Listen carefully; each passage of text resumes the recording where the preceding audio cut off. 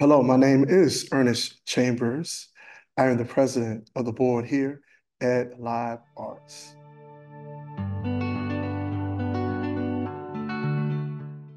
I can definitely feel a warmth of coming in to a building that's very much so inclusive, very much so welcoming, very much so wanting to hear the stories of the people that walk within our doors in a theater that's all volunteer, you would not know it. We bring plays, programs to the area that will have you leaving here asking questions, to have you leaving here thinking differently, not not to just be entertained. We want to entertain you. We want you to smile. We want you to laugh.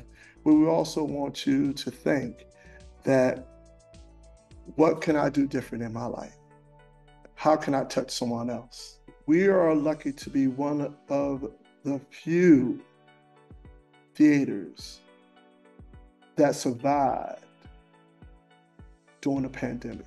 Live art stands today because of a need and a vision to have a volunteer theater in Charlottesville.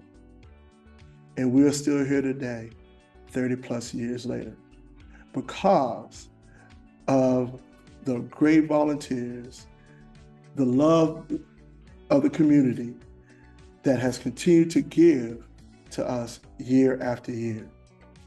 Without your donations, without your commitment, we cannot do what Live Arts does best is produce amazing productions here in the city of Charlottesville.